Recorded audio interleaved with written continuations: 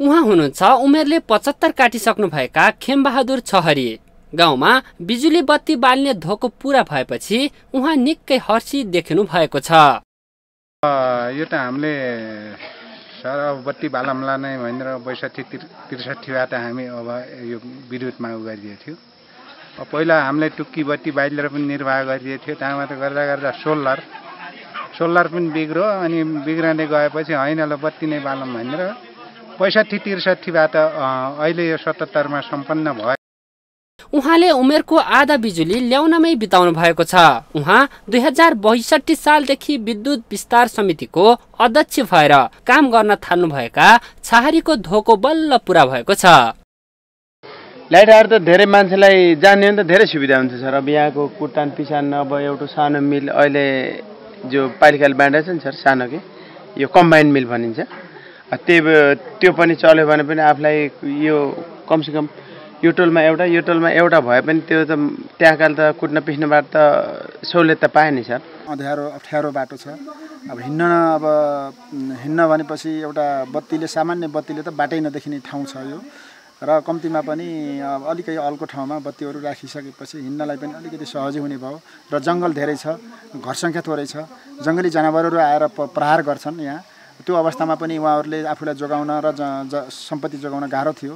अलिकति त्यसले पनि यहाँको जनतालाई अब बत्तीले गर्दा थोरै सहज त्यो पनि नै राम्रो हुने भयो।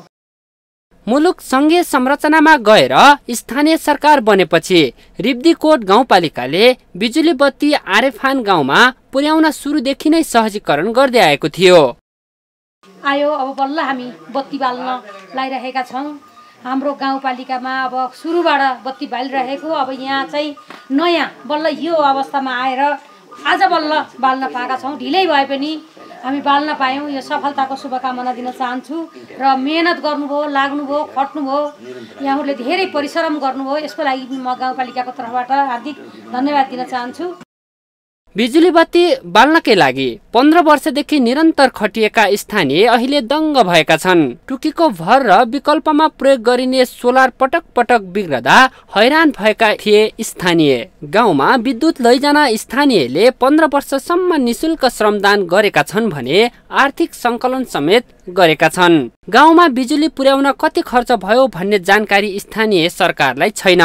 विद्युत कार्यालयले जानकारी बिना नै एकलौटी हिसाबले काम गरेको स्थानीय सरकारको आरोप छ। दुर्गम क्षेत्र वार्ड नम्बर आठको आरेफानमा हामीले विद्युत विस्तारको कामलाई करिब करिब सफल गर्न सकेका छौँ।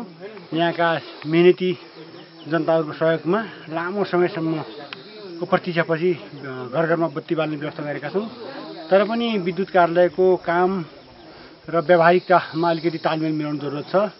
के कति खर्च लाग्यो कसरी काम भइरहेको छ यिनी कुरा पनि अझै जनताको बिचमा प्रश्न पार्नु जरुरत छ।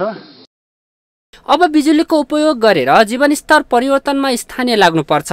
साथै विद्युत कार्यालयले खर्च सार्वजनिक गर्न आवश्यक छ।